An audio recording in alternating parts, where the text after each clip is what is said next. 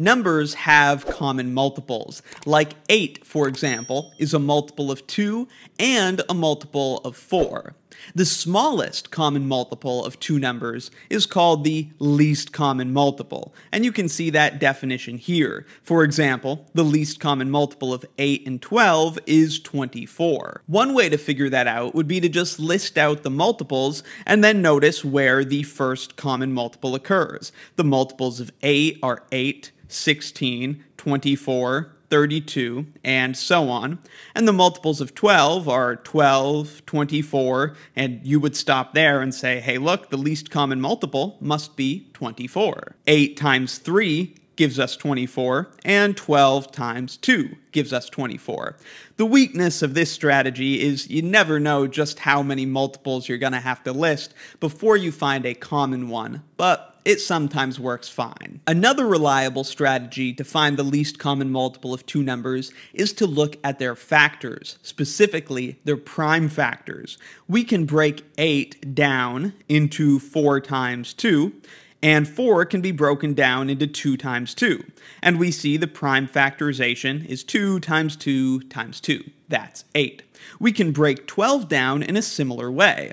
12 is 4 times 3, and 4 can be broken down into 2 times 2. And those are the prime factors of 12, 2 times 2 times 3. Then you can find the least common multiple of the two numbers by multiplying together the prime factors. Just don't duplicate the common factors. By that, I mean we take the prime factors of 8, 2 times 2 times 2, but that already includes two factors of 2. So we don't need to include those again when we look at the factors of 12. So all the factors of 2 just come from the 8, and that covers the 2's that are in the factors of 12. However, to cover the factorization of 12, we also need that factor of 3, and this gives us our least common multiple. 2 times 2 times 2 is 8, times 3 is 24. You can see that agrees with the previous strategy. Don't worry if that was a little confusing, we'll do another example. Let's slightly change the context though. One of the big uses of least common multiples is least common denominators. The least common denominator of two or more fractions is the least common multiple of the denominators. This is often used for us to get fractions to have the same denominator, then we can compare them and add them together easily. For example, to do 5 sixteenths plus 7 twentieths, we need to get common denominators. One strategy you can always use is to just multiply the fractions by each other's denominators. We could multiply 20 over 20 on the left and multiply by 16 over 16 on the right. That type of thing always works, but it's not always going to give you the least common denominator, and sometimes that might be what you want. So to make sure we use the least common denominator, let's try finding the least common multiple of 16 and 20.